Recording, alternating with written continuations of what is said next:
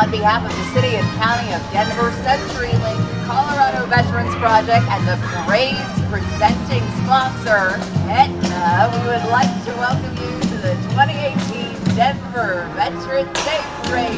Big round of applause to kick things off.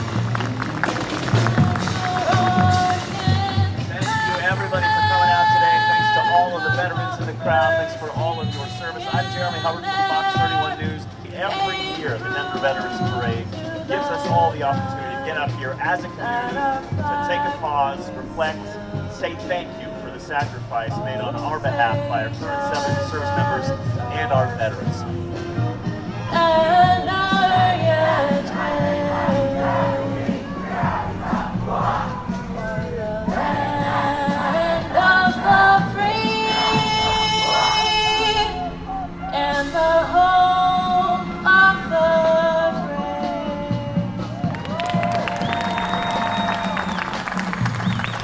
We'd like to welcome to the stand the Honorable Mayor Michael Hancock of Denver. Mr. Mayor.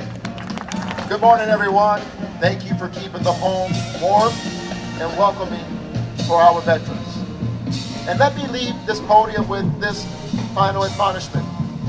There was a time when, when Congressman Coffman and I would stand here and we would shake our heads in embarrassment that we, as Denverites and Coloradoans and Americans, hadn't come out to celebrate our veterans on this day.